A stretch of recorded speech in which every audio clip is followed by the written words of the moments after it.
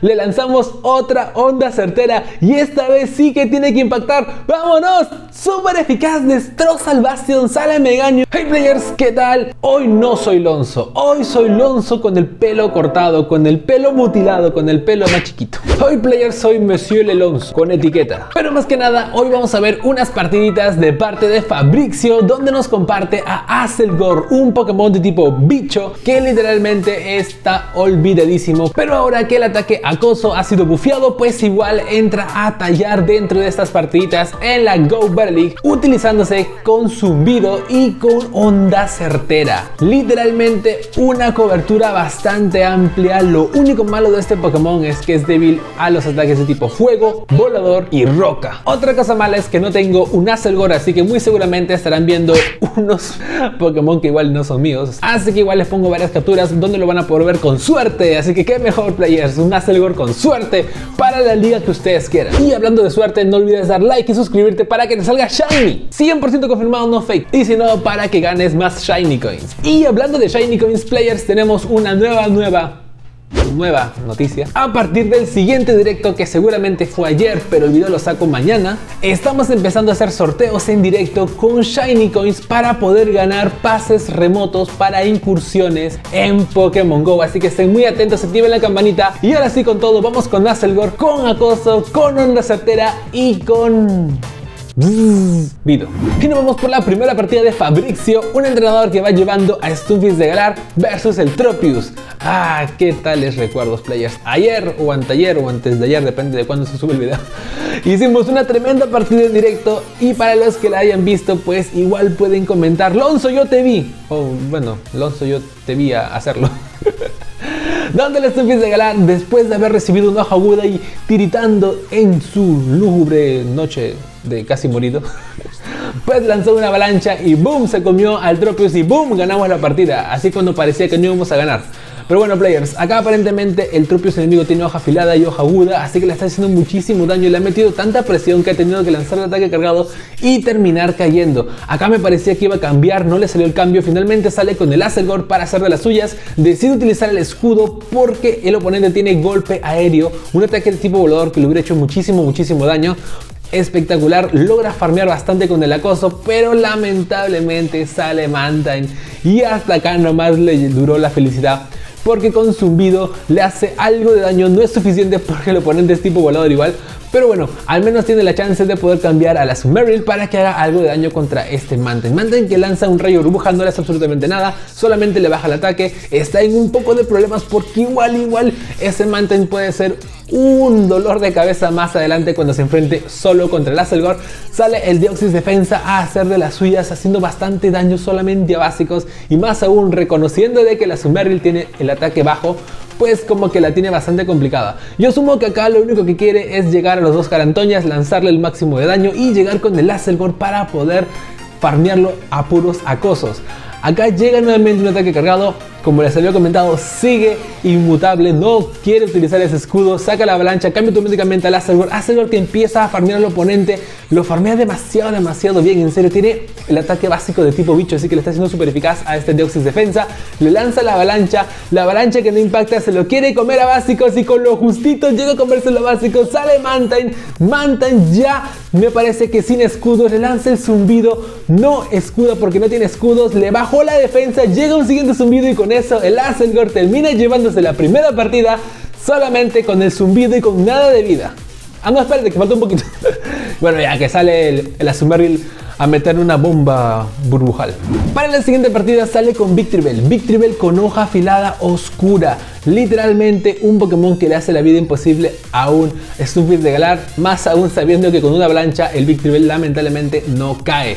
Así que va a empezar a lanzarle la avalancha para meter un poco de presión. Decide utilizar el primer escudo del oponente. Sale con un siguiente avalancha y el oponente que el víctima no llega a la aguda todavía para poder botar un escudo. Llega la segunda avalancha, como les comenté, no es suficiente para ganarle. Y con lo justito decide cambiar con el Azelgor para poder tener un poco de ventajas sobre ese Al final decide escudar, es una hoja aguda, lo hubiera aguantado bastante bien, pero como es el videito de Azelgor, pues igual por ahí que quería hacer un poquito más.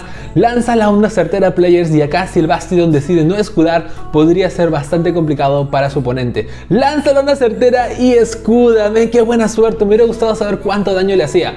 Pero bueno, no pasa nada. A este punto saca el Azumarill, el oponente no tiene escudos, pero no tiene hidrobomba. Oh, Fabricio. Fabricio, Fabricio, Fabricio. Solamente diré que Fabricio, eh, Fabricio, el hidrobomba, por favor. Yo también me quedé sin hidrobomba en estos casos y pues el final y tampoco me fue muy bien. Pero bueno, acá todavía le queda un escudo. Obviamente tiene que, bueno, igual y no quiere escudar.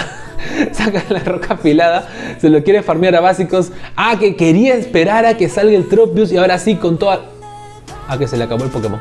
Ok, se le fue. Se le fue Players, como les había comentado, se quedó sin vida y nos vamos a la siguiente partida. Para la siguiente partida sale con Stumpis de Galar versus el oponente que usa también Stumpis de Galar. Impresionante Players, salimos uno contra uno, Mirror Match. A ver quién cae en el baiteo, a ver quién puede botar el primer escudo.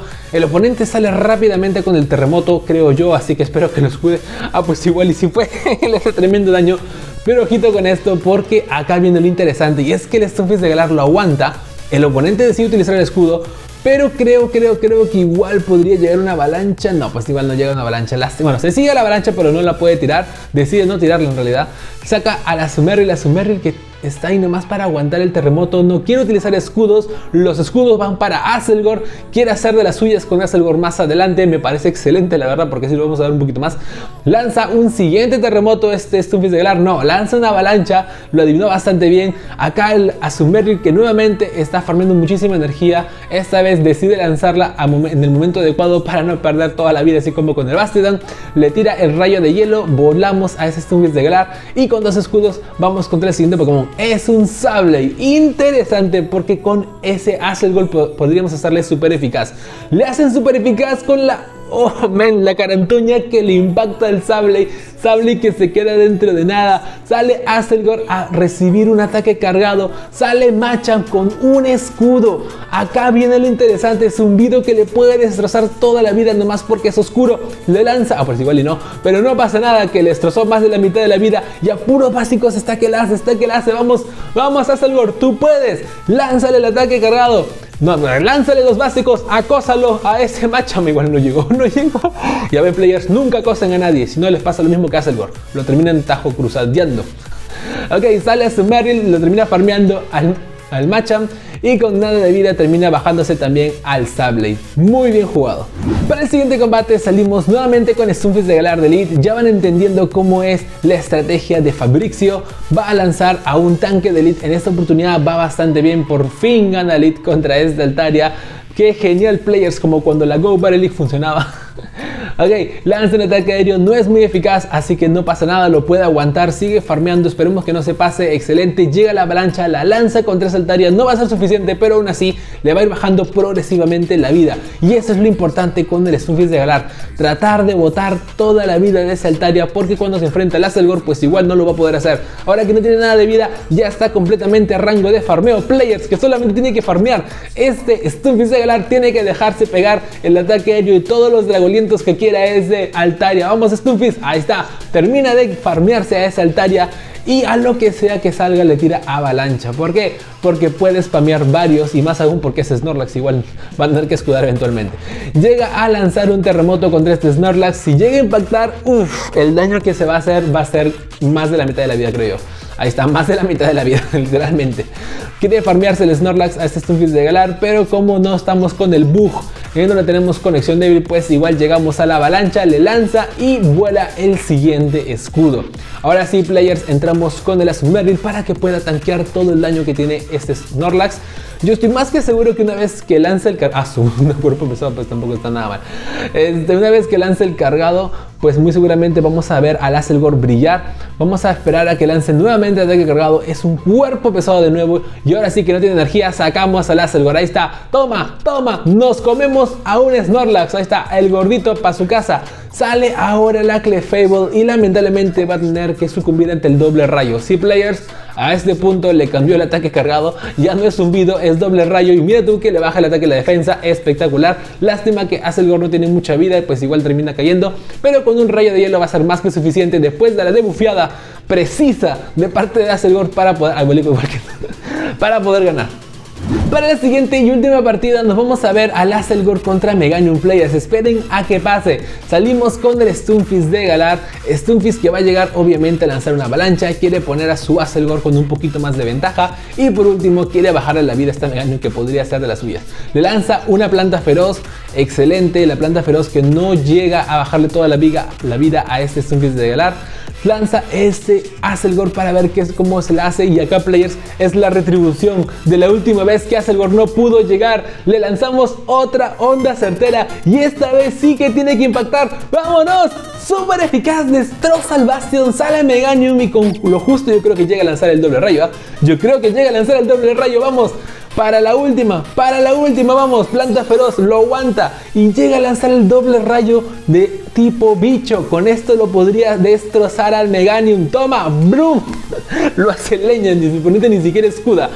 Pero bueno, después de este tremendo, de esta tremenda actuación, pues el Azelgor cae, no pasa nada, sacamos al grandioso Stufius de Galar para darle ventaja a nuestro Sumeril que tenemos detrás y Nada que hacer players, el oponente decide escudar, sacamos automáticamente a su Merrill y ahora sí el oponente o bien se retira o bien yo no sé qué está haciendo acá porque no tiene nada que hacer. Le lanza el rayo de hielo ha tanqueado muy pero muy bien, ha sido un tremendo, tremendo baiteo. Tenemos también el Carantoña para este Mirror Match, así que excelente.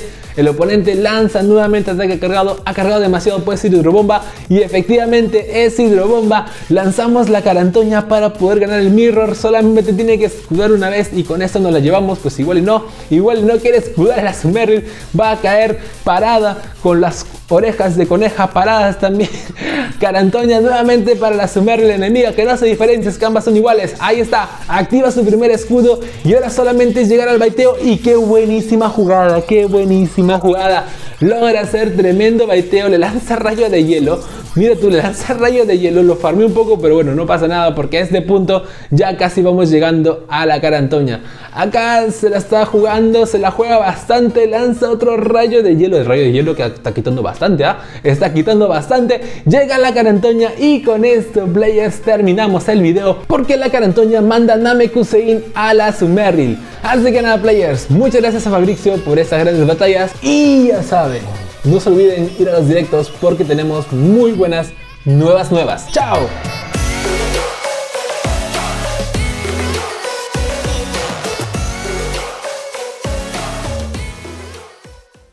Atentos con el siguiente equipito solo Shiny en la Go Battle League.